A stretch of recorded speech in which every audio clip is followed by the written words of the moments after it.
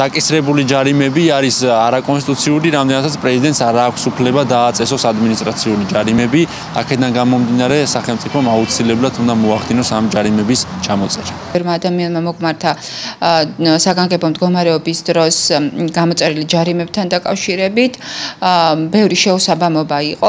მოთხოვნა ძირითადად რა თქმა უნდა, ყველა შემთხვევაში ხდება საკითხების ინდივიდუალურად შესწავლა და ამის მიხედვით ხდება მოთხოვნის ჩამოყალიბება. პანდემიის გამო გამოცხადებულ საგანგებო მდგომარეობის და კომენდანტის საათით გათვალისწინებული შეზღუდვების დარღვევის გამო ჯარიმების რაოდენობამ 25 მილიონ ლარს გადააჭარბა. არასამთავრობო სექტორის წარმომადგენლები ჯარიმების რაოდენობის არაადეკვატურობაზე საუბრობენ და მის გაუქმებას ითხოვენ.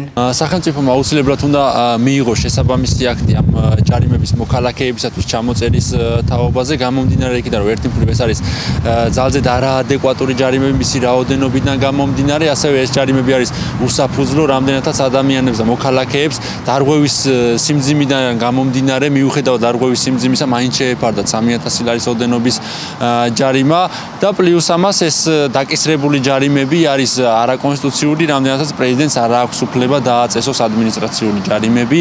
აქედან გამომდინარე, სახელმწიფომ აუცილებლად უნდა მოახდინოს ამ ჯარიმების ჩამოწერა. ყველი რაც აუცილებლად უნდა აღინიშნოს ნიშნავს ამ პერიოდში გამოცემულ სამართალდარღვევის ოქმებთან დაკავშირებით, რომ თვითონ ნორმა არ იყო კანონ საქართველოს კონსტიტუციასთან შესაბამისი, შესაბამისად ნახოთ რა პრაქტიკას დაადგენს სასამართლო ამ ადამიანებთან მიმართებაში, ვინც იმ პერიოდში იყვნენ დაჯარიმებული, მანამ ადმინისტრაციულ სამართალდარღვევათა კოდექსში შევიდა შესაბამისი ცვლილება, იმიტომ რომ ცვლილების გარეშე ხდებოდა ჯარიმების გამოწერა.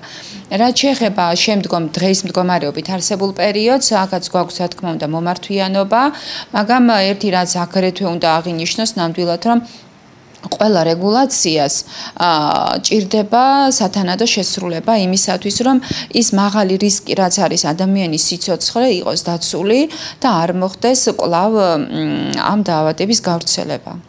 დღევანდელი სოციალური ფონის გათვალისწინებით, როდესაც რამდენიმე ათასმა ადამიანმა სამუშაო ადგილი პანდემიის დროს დაკარგა, ჯარიმების ჩამოწერის შესახებ პარლამენტში პრემიერის გამოსვლის დროს კითხვა კასპის მაჟორიტარმა დეპუტატმაც დასვა. ტაქტიკა, რომელიც აირჩია საკოორდინაციო საბჭომ პანდემიასთან და COVID-19-თან ბრძოლაში, მართლაც აღმოჩნდა წარმატებული და ამ ტაქტიკის ერთ-ერთი ნაწილი იყო საგანგებო მდგომარეობის პირობებში საგანგებო მდგომარეობის დარღვევის ჯარიმების საკმაოდ მაღალი ფასი. ეს თავიდანვე იქნა შეფასებული როგორც ძალიან მკაცრი ზომა, მაგრამ პირველადი მიზანი იყო ის, რომ პანდემიის ფართო გავრცელება არ მომხდარიყო ჩვენს ქვეყანაში და ამან რა თქმა უნდა თავისი ძალიან სერიოზული დადებითი როლი შეასრულა და ფაქტი სახეზეა, ხო, რა მონაცემებიც გვაქვს ჩვენ ქვეყანაში.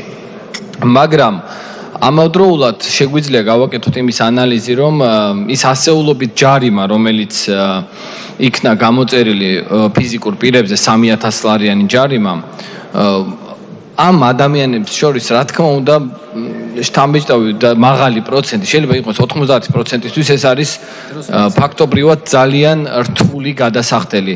ამიტომ როგორ ფიქრობთ, ხომ არ არის იმის შესაძლებლობა და ხომ არ ჯობია რომ ამ ჯარიმების გარკვეული ჩამოწერაც მოხდეს თუ პრემიერ-მინისტრის გიორგი გახარიას განცხადებით, რომელიც მან პარლამენტში COVID-19-ის პანდემიის პირობებში საგანგებო მდგომარეობის დროს მთავრობის მიერ განხორციელებული ღონისძიებების შესახებ ანგარიშის წარდგენისას გააკეთა, აღნიშნა, რომ ჯარიმების ჩამოწერა საკანონმდებლო ორგანოს პრეროგატივაა. მისი თქმით, ჯარიმების ჩამოწერასთან დაკავშირებით აღმასრულებელი ხელისუფლება პარლამენტს ვერანაირ მითითებას მით უმეტეს დირექტივას ვერ მისცემს.